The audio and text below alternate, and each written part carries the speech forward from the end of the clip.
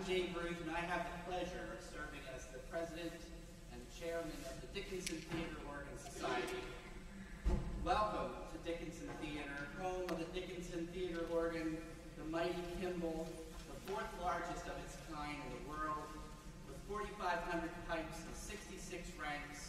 The organ crew has been working hard to keep this magnificent instrument in fantastic shape and ready for an intense workout tonight by tonight's featured artist. Before I introduce our artist to you for the evening, I wanted to welcome all of our newcomers who are here with us tonight.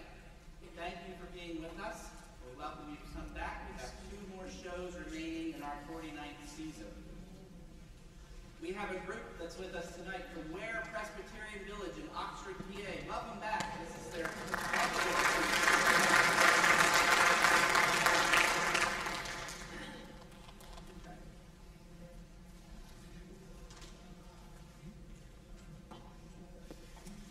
Of course, I want to offer a special welcome to our season ticket holder. Ooh, how's that?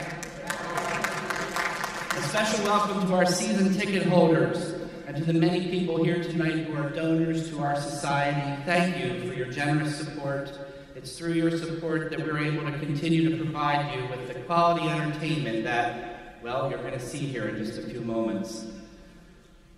I'm so excited to tell you about our 50th season. Yes, next year, Dickinson Theater Organ Society will celebrate its 50th anniversary.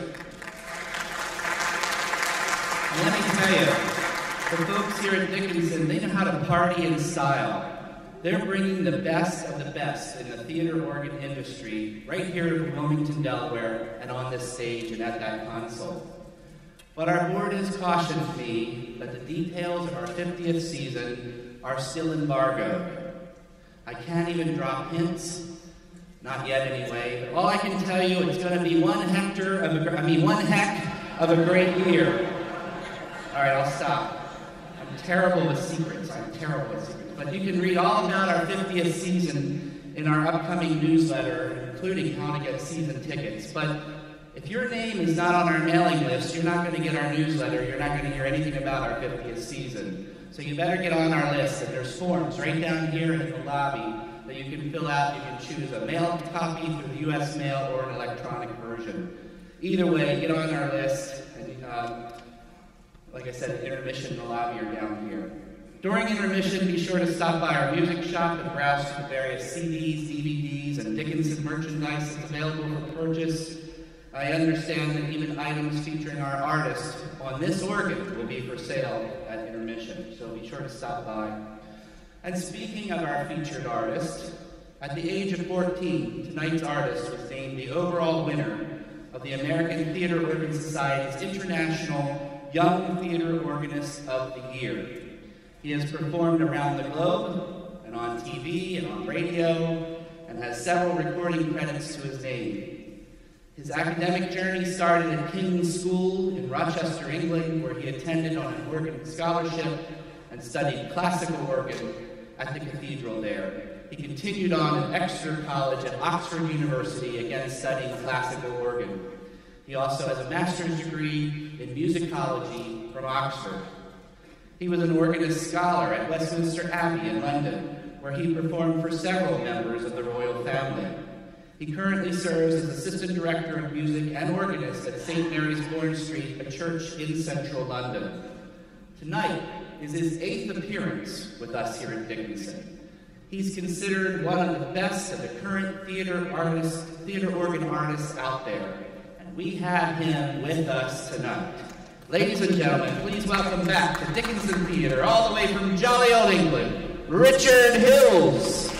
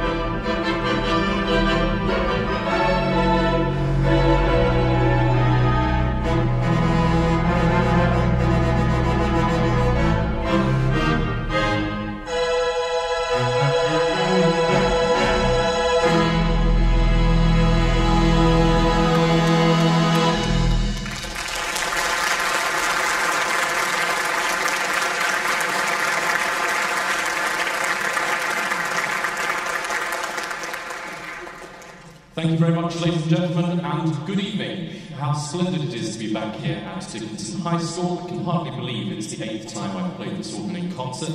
I must have been very young the first time, that's all I can say. And it's very nice to see so many familiar faces in the audience. I know some of you have travelled quite a long way to be here, as well as joining our local audience, and it's particularly wonderful to see you here tonight. Um, I gather also that by the means of great electronic trickery, we are also being streamed live this evening by the medium of Facebook. So if you're watching from around the world, I'll give you a cheery wave wherever you may be. Hope you enjoy the programme, and perhaps you'll give us a like, as I believe they say, and let us know whence you are listening. It'd be really interesting to see that. So great to be back here on one of my very favourite instruments, and I don't need to tell you, one of the greatest theatre organs on the planet Earth. It's very nice to be here, and I hope you'll enjoy this selection of music, which began with that great 1937 Richard Whiting tune, Hooray for Hollywood. Now, we're going to carry on uh, with two items together, the second of which is a longer medley or selection, but the first of which is going to make the most of all of those ooey, ooey, tibia, vox combinations that I know so many of us love, and which this organ does particularly well. This is a great favourite of theatre organists and theatre organ fans. It was recorded by Jesse Crawford, among others, back in the 20s. And it's a piece of music which is composed by the great Rudolf Friml, the gentleman who gave us The Vagabond King and Rose-Marie, among others. Uh, this one, as far as I'm aware, doesn't come from a show, but it is uh, a wonderful example of musical uh, theatre, if you can put it that way, from the turn of the last century. I hope you'll enjoy it. It's got two names. The first of them is the French title, L'amour, toujours l'amour. And the English version of that is Love Everlasting. After that, we are going to go headlong into a medley of tunes which I believe comes from the first film that Bob Dilworth ever saw. I discovered that nugget of information at dinner last night. And uh, I put this together for last year's American Theatre Organ Society convention because the instrument I was playing, the wonderful Moeller organ at Pasadena Civic Auditorium, was built in 1938, the year that this film was released by the Disney Corporation. Uh, I'm sure you recognise the tunes, they're all written by Frank Churchill, and they come from Snow White and the Seven Dwarfs. Before that, though, Love Everlasting, or if you prefer the French version, L'amour, toujours l'amour. And once again, it's a great thrill to be here this evening. Hope you'll enjoy the music, and on with the show.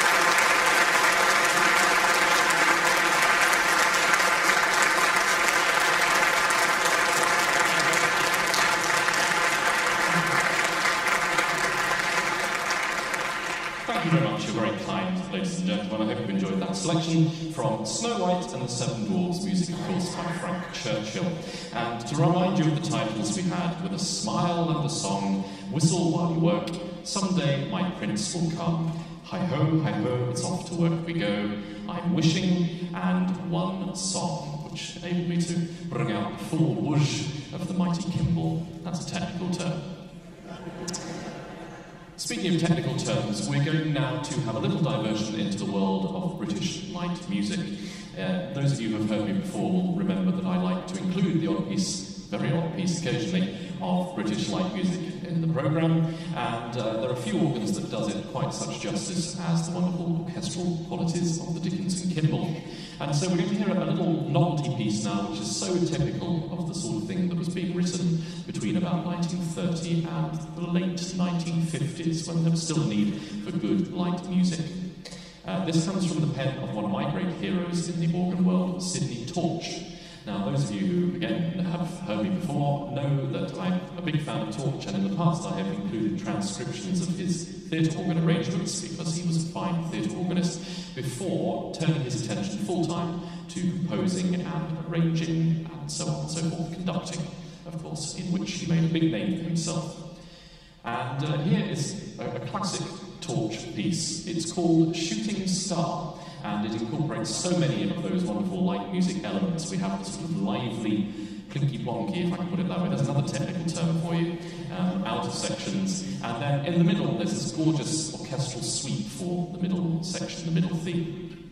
And then back to more plinky plonky at the end. And it has a delightfully surprising ending, which will test whether one can fall asleep. Music now from Great Britain, Sidney Torch's Shooting Star.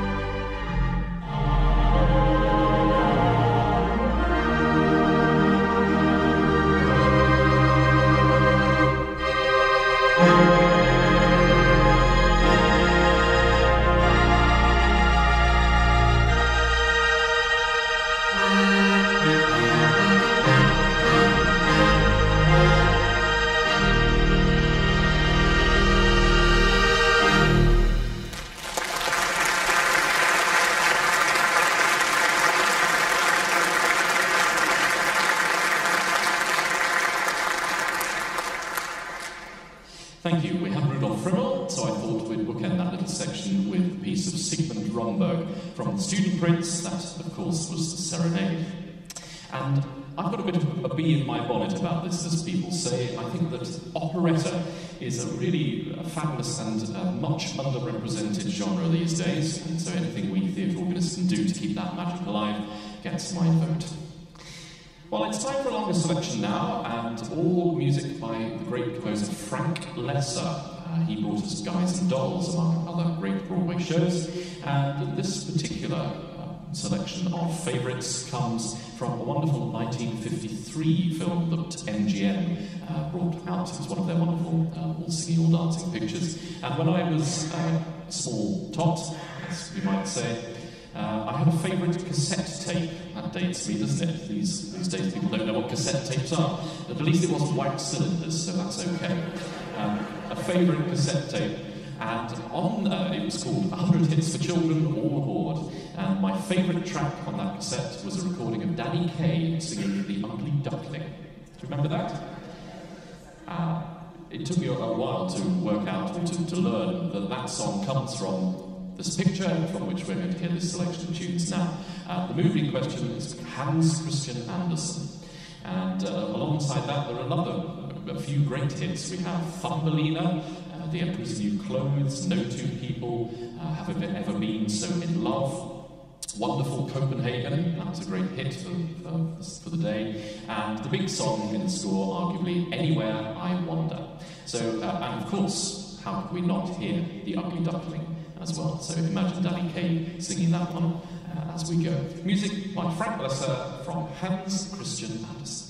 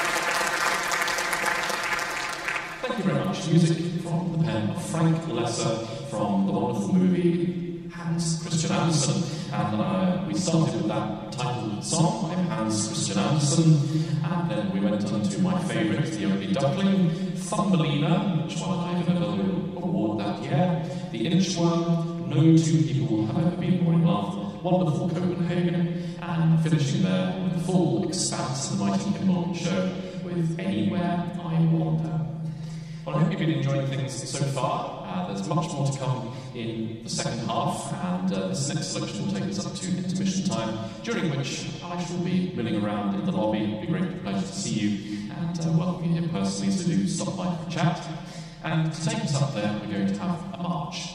Uh, I like playing marches on the organ, I'm a bit old fashioned like that. And I also like including English marches, and particularly ones composed by fellow organists. It's always nice to keep their memory alive by playing their compositions, and it shouldn't come as any surprise that so many of those old-time organists were also wonderful composers. Now, the gentleman in question is a chap called Gerald Shaw. He was latterly the organist of the Odeon Leicester Square in London. Um, theatre organ aficionados will know of the cinema, the theatre on the other side of Leicester Square, the Empire, which is where Jesse Crawford made his English recordings back in 1933. But on the other side of the square, slightly later, in 1937, arrived a Wizzo new streamlined Odeon with the UK's only five-manual theatre organ. And the great news is it's still there today, and after a, a multi-million pound refurbishment, the theatre opened again uh, late last year in December, and once again it's possible to go and see a movie in the West End of London uh, every weekend and have live organ music coming up and down out of the pit. Rather nice uh, that that's the only uh, cinema organ left in regular use now in the British Isles, and you can hear it on a weekly basis. Now, Gerald was uh, a wonderful musician and a great wit. He held a number of resident organist positions up and down the country, and he even went out to Portugal and uh, Cairo as well, where he opened various instruments. So, rather unusually for the day, he was quite a well travelled organist. But he finished his uh, career at the Odeon Leicester Square.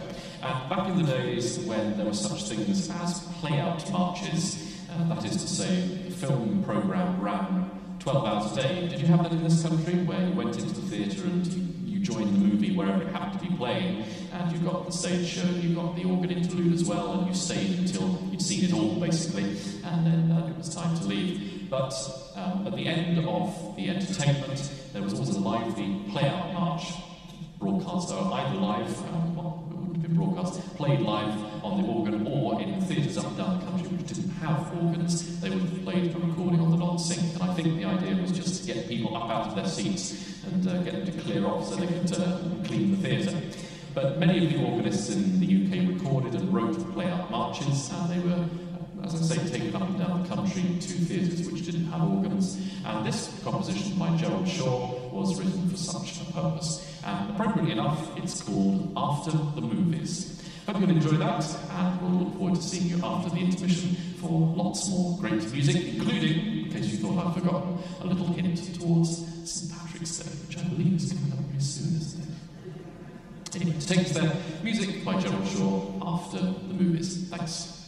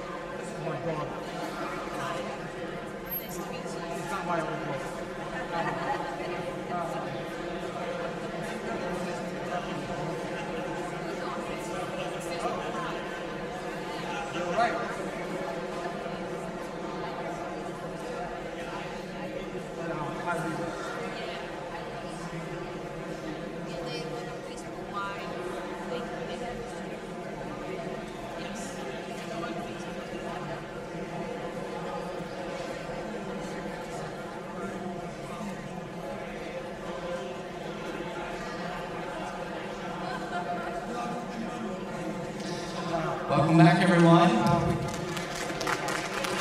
Happy St. Patrick's Day. In full disclosure, my kids made a bet with me. They bet that I would not wear this on stage. And I said, don't bet me. So I did. I have an audience that can attest that I did this.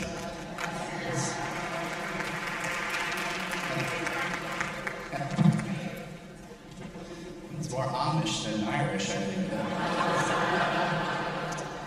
Before we bring out Richard for the second half, I want to remind you of the two remaining concerts in our 49th season. Phil Kelsall, in his debut performance of the Dickinson, will be here on April 27th. It's said that he'll have us dancing in the aisles.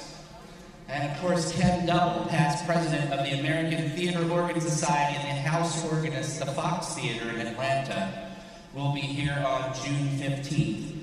Two shows that you do not want to miss.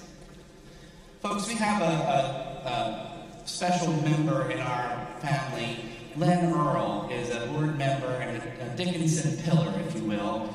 Um, due to several medical issues, he's hospitalized at Genesis Brackenville Center. And I just ask that we keep him in our thoughts and prayers. The Earl family is very special to us at Dickinson. Len on the board, Christy uh, uh, uh, coordinates our volunteers, Margaret is our hospitality chair, and just want to keep that special family in our thoughts and prayers and pray for his uh, quick recovery.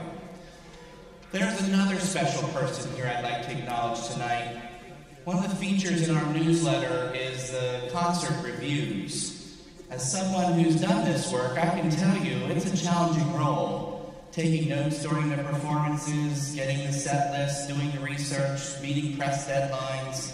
So while we all sit here and enjoy the show, this guy's hard at work. And I just want to give a special shout out and thank you to our concert reviewer, Ron Stonehouse. Ron?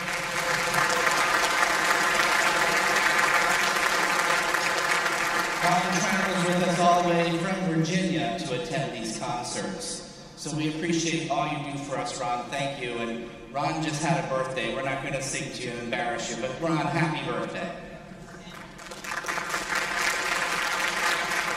Tonight, after the show, please take a moment to join us for intermission. Uh, sorry, intermission. An after concert reception up here on stage. It's a Dickinson tradition. Desserts, refreshments served with a chance to meet the artist, get an autograph. Like I said, it's a Dickinson tradition, so please take time and stay with us and join us. And thank you to our reception volunteers who helped make this happen. And now, ladies and gentlemen, please welcome back to the bench, Richard Hills.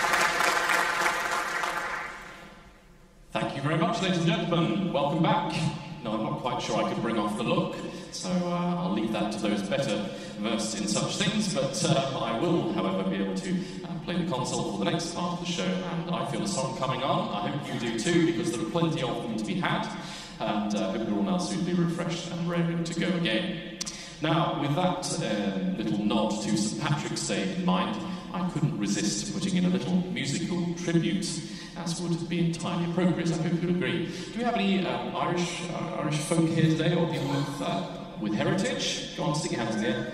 Hey, fantastic. That's good to know. Well, uh, I confess that as far as I'm aware, I don't have a single Irish bone in my body, but uh, never let that get in the way of a good score.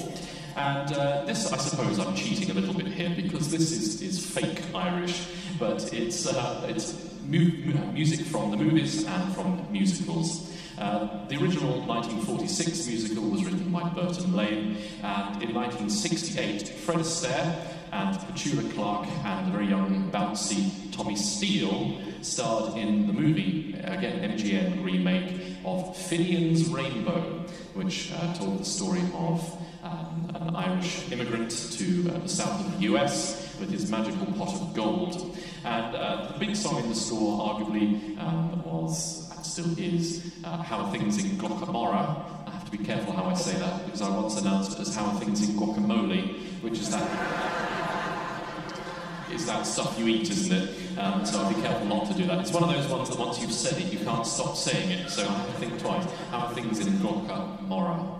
Um, but we also have such classics as Look to the Rainbow, When I'm Not With the Girl I Love, I Love the Girl I'm With. That was the great vehicle for Tommy Steele. That great Come and Get It Day, which has a sort of hoedown feel about it. Uh, Old Devil Moon is another great uh, standard from the score, and Look to the Rainbow. So let's have a little musical nod to St Patrick's Day and remember some of those wonderful Burton Lane tunes from Finian's Rainbow.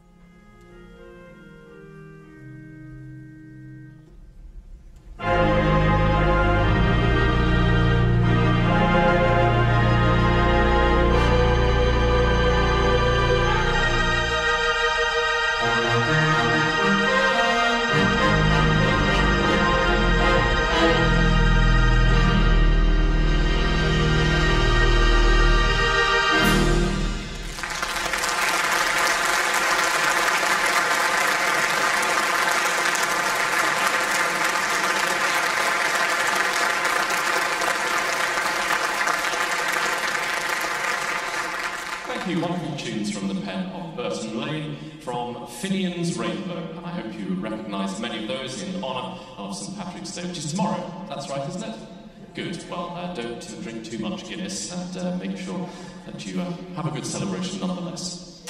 Well, uh, not quite Ireland, but back to the UK now for a performance of another of those great pieces of British light music. Very uh, characteristic, this one again. Uh, the gentleman who wrote this one was also a theatre organist by the name of Bobby Pagan. Uh, he was a very uh, famous name back in the day. And here is uh, one of his best known compositions, a classic radio melody, dates from the mid 50s, as I think, um, back in the day when live music was still very much a requirement on the radio. And I once heard from one of those old time composers that if you could write a catchy tune and orchestrate it, you were guaranteed that it would be on the air earning you money within six weeks. So that's how good uh, those times were for musicians. Anyway, Bobby was a wonderful wit and a warm raconteur. And this characteristic piece is called Canyon Caballero, and uh, it's got a hint of the Wild West about it. And again, very similar uh, to the one we heard in the first half. Slightly jaunty outer sections. You can imagine the Caballero trotting along on his horse, and then the middle section is a lot more expansive and uh, really, really opens up and gives me the chance to open up the instrument. And then at the very end, you'll hear the Caballero whistling as he fades off into the distance in his horse. Hope you'll enjoy Bobby Pagan's Canyon Caballero.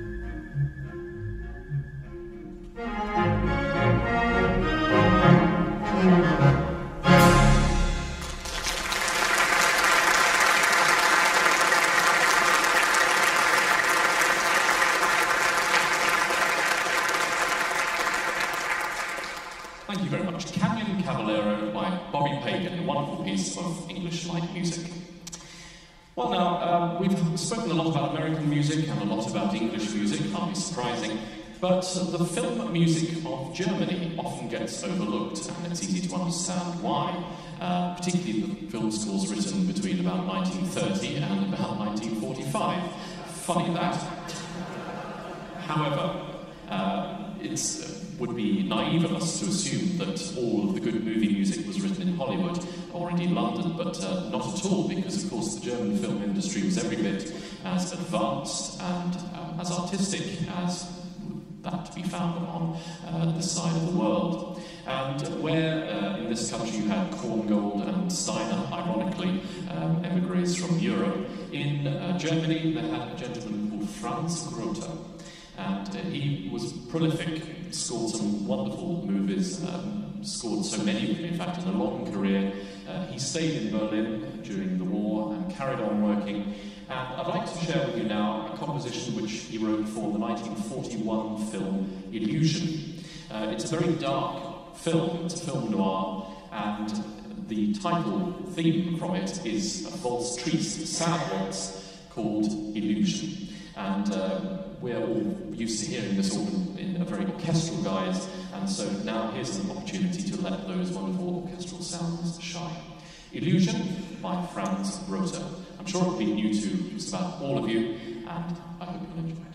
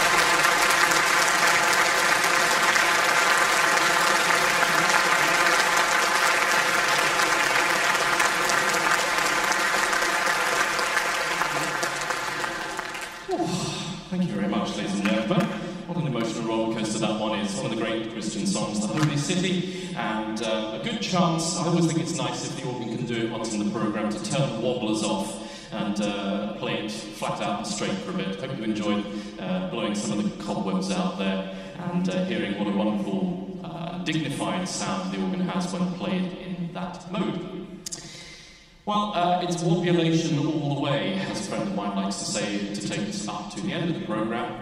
And we're going to hear some music uh, now associated very much with two of the great legends of uh, stage and screen. Uh, before I do that, of course, it would be remiss of me not to thank the DTOS family, whom I've uh, got to know and uh, be friends with for many years now. I worked out that I first sat down and played this organ in 2001, which is a staggering 18 years ago, isn't it? Where on earth did that go? I must only have been three months old at the time or something like that. But it's been wonderful to watch the organ go through its development and to develop with it.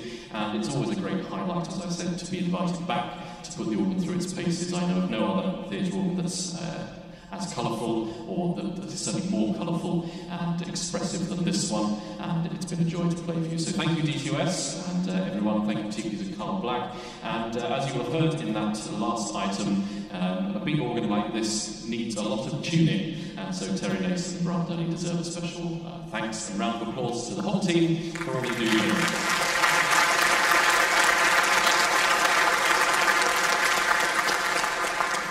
something of a cliche, I know, but uh, it's, it's true to say without you there would be no show. So it's great to see so many friends, uh, old and new, coming here to, uh, to enjoy the programme, I hope. And uh, it's been great to catch up with you. And of course, we get to do the, the social bit next on the stage. So I do hope you'll stay for the reception. It'd be great to see you and uh, to exchange pleasantries over a cup of non-alcoholic punch or whatever it is they've got ready to serve us up back there. But to take us up to the final part of the show, we have music now associated with the team they called Sweethearts, Sweethearts of the Screen. I'm talking about Nelson Eddy and Jeanette MacDonald. Now, they were famous, of course, as a pair in things like Rose-Marie and The Vagabond King, but they had uh, solo careers, of course, throughout uh, the, their period of activity. So Jeanette MacDonald, for example, signed with Paramount in the early 1930s and introduced a whole load of wonderful music. So we'll uh, pay due recognition to Jeanette and we'll hear things like uh, Paramount on Parade, a little snippet of that, and San Francisco, Open Your Golden Gate, remember that one? Uh, we'll remember Nelson Eddy with At the Balalaika, uh, among others. Uh, we'll hear the Merry Widow Waltz, uh, because uh, it was Jeanette MacDonald starred in that one.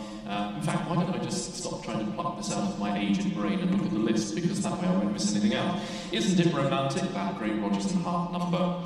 Um, the Indian love call, when I'm calling you, ooh, ooh.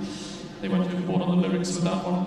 Uh, you Made Me Love You, I didn't want to do it, when we get the organ sounding a bit bump and grind, for those of you who know what that means. Uh, Beyond the Blue Horizon, and then finally, what could we possibly end with but Oh Rose-Marie, I Love You. Memories of Nelson Eddy and Jeanette MacDonald takes us up to the end. Thanks once again for coming. I appreciate that some of you have come a long way. I appreciate that some of you have come a short way. Um, probably haven't come as far as me, but that's okay because it's been an absolute pleasure and I look forward to seeing you at the end. But uh, until the next time, safe journeys home and good evening.